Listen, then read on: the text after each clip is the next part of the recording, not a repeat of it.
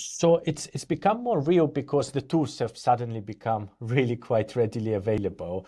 Um, something so ChatGPT, for example, knows CoinRule. You can copy paste your CoinRule strategy into ChatGPT and ask for ChatGPT to help you improve it, and it does it, which is completely mind mind blowing, right? If you think about it, it's like something that we built, and you have this completely uh, third party built artificial intelligence system that knows the platform and can give you ideas how to, to improve your, your trading.